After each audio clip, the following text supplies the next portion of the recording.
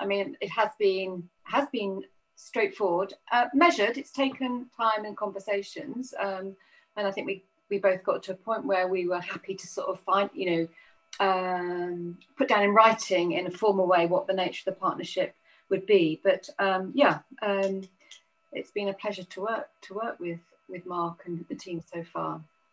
Um, we've been extremely lucky um, within our programme to partner with the Lloyd's Register Foundation. They're a charity who own a very large uh, corporate organisation. But that relationship didn't come quickly. Um, from initial conversations, it took about two years to launch a large project.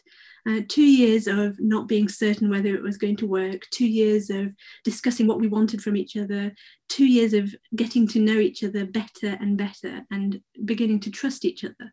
Uh, and now that relationship's really solid. Um, we have very frank conversations about where things are going.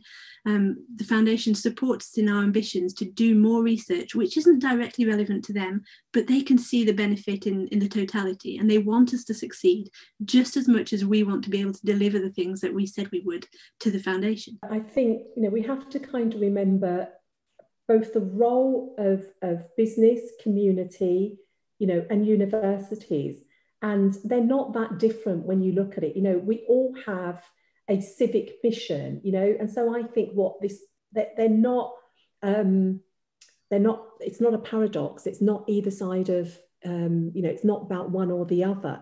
It's about how you work with both. And if you think about the, the capability, the opportunity, and the responsibility that each actor, each player, each institution has to support the places that they are based in to solve some of the most pressing, you know, and major problems, well, then, you know, those things are int- intrinsically linked, you know, arts, culture, heritage, business, space, community.